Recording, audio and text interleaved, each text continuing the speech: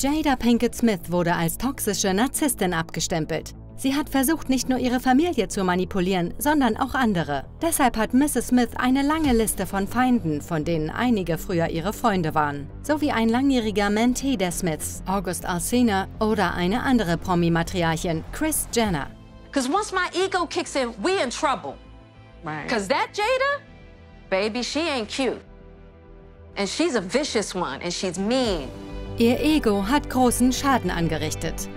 Lange bevor Jada anfing, ihren Mann zu demütigen, war sie eine Ehebrecherin.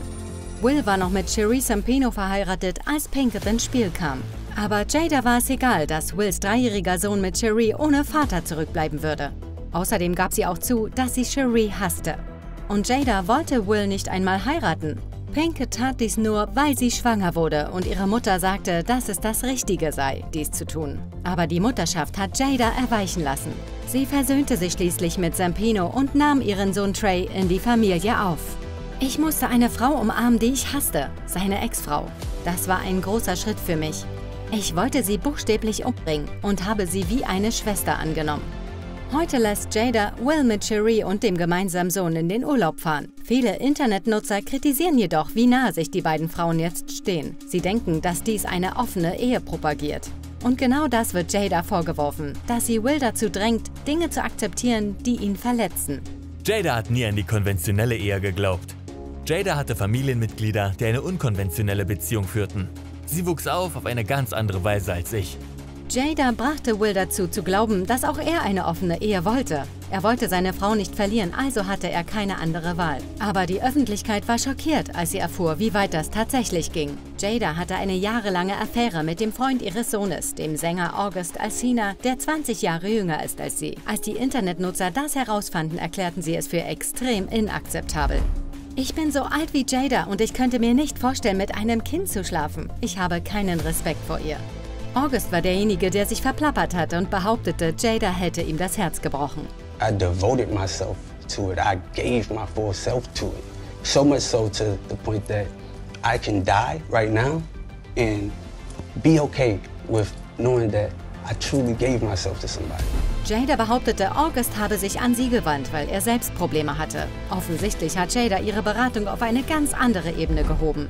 Ich glaube ihm. Will und Jada haben ihn aufgenommen, als er krank war und mit einer Sucht zu kämpfen hatte und Jada hat ihn ausgenutzt. Keine Betreuung sollte jemals sexuell werden.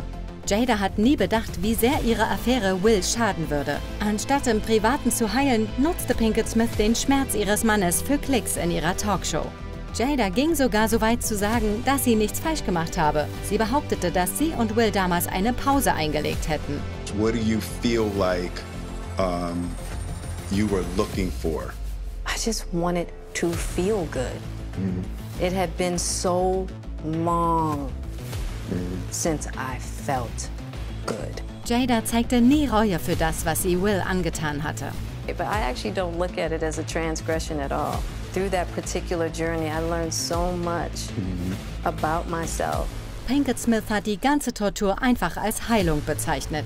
And it was really a joy to just help heal somebody. Doch die Öffentlichkeit ließ sich nicht so leicht täuschen. Sie lässt Fremdgehen wie eine spirituelle Erfahrung klingen. Das ist doch lächerlich. Sie reißt sein Herz in Stücke. Jada gefällt es sicher, zwei Menschen in Stücke zu reißen. Sie fühlt sich bestimmt so mächtig. Es sieht so aus, als wären Will und August nicht die einzigen, die unter ihrem egoistischen Verhalten gelitten haben. Viele Hater glauben, Jada habe auch ihre Kinder vernachlässigt. Vor Jahren schockierte ein Bild von Jadas Tochter Willow die Zuschauer.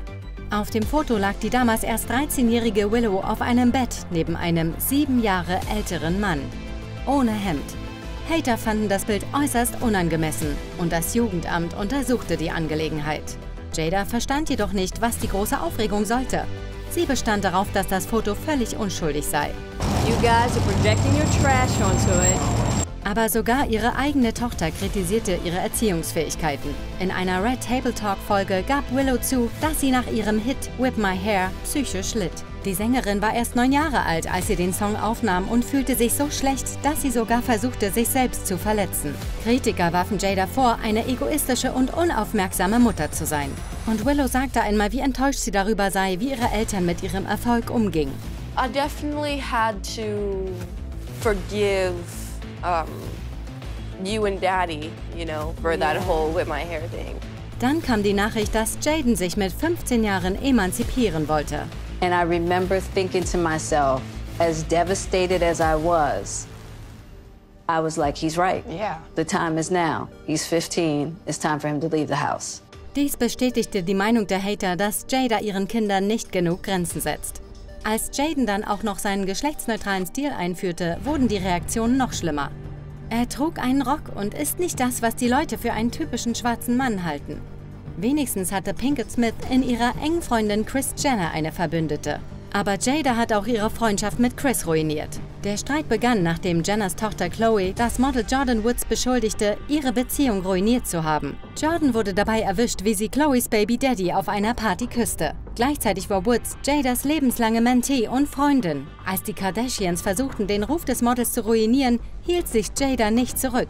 Stattdessen lud sie Woods ein, bei Red Table Talk ihre Sicht der Dinge zu schildern. Chris empfand das als Verrat und beide Familien entfolgten sich später gegenseitig in den sozialen Medien. Einige von Jadas anderen Fäden sind so alt, dass sie sich nicht mehr an den Grund erinnern kann. Jada hatte Streit mit Gabrielle Union und sie haben seit 17 Jahren nicht mehr miteinander gesprochen. Jedes Mal, wenn wir uns sahen, gab es Spannungen zwischen uns. Als wir telefonierten, um herauszufinden, woran es lag, konnten wir es nicht herausfinden. Wir waren einfach jung und Dieven. Offensichtlich hat sich Pickett Smith in Hollywood ein paar Feinde gemacht. Der Vorfall bei den Oscars hat ihr weitere verschafft. Alle waren schockiert, als Will handgreiflich wurde, um die Ehre seiner Frau zu verteidigen. Alle außer Jada, die einfach nur da saß und lachte. Die meisten Leute sind auf Wills Seite.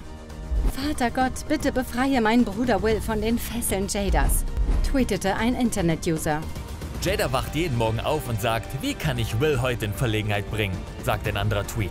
Aber warum verhält sich Jada so? Was bringt sie dazu, die Menschen, die sie liebt, zu verletzen? Jada hatte zu Hause kein gutes erzieherisches Vorbild, denn ihre beiden Eltern haben sie im Stich gelassen. Ihre Mutter hat sie selten umarmt. Außerdem war Jada schon ein Teenager, als sie von den Problemen ihrer Mutter erfuhr. I could tell when my mother was high. She couldn't make it on time to pick me up from school. Or she's nodding off, falling asleep in the middle of something. You just realize, oh, that's not being tired. That is like a drug problem. The emotional damage and the spiritual damage that I did to myself and to her, you know, that, that was devastating. Jada hat auch miterlebt, wie aggressiv ihr Vater gegenüber ihrer Mutter war. Ihre harte Kindheit lehrte sie schon früh, auf sich selbst aufzupassen und sich zu schützen. So begann Jada, ihr eigenes Glück über das der anderen zu stellen. Im Laufe der Jahre hat Pinkett Smith sich selbst reflektiert und sich ihre eigenen Fehler eingestanden. And just realizing that a lot of my relationships have been steeped more in ego than in love. Aber nicht jeder glaubt an ihre Aufrichtigkeit. Jadas Vorstellungen davon, was es bedeutet, eine aufgeschlossene schwarze Frau zu sein, bedeuten nichts, wenn ihr Verhalten anderen schadet. Vor allem denen, die sie zu lieben vorgibt. Für Jada ist die Wahrheit das, was ihr gerade passiert. Aber was denkst du?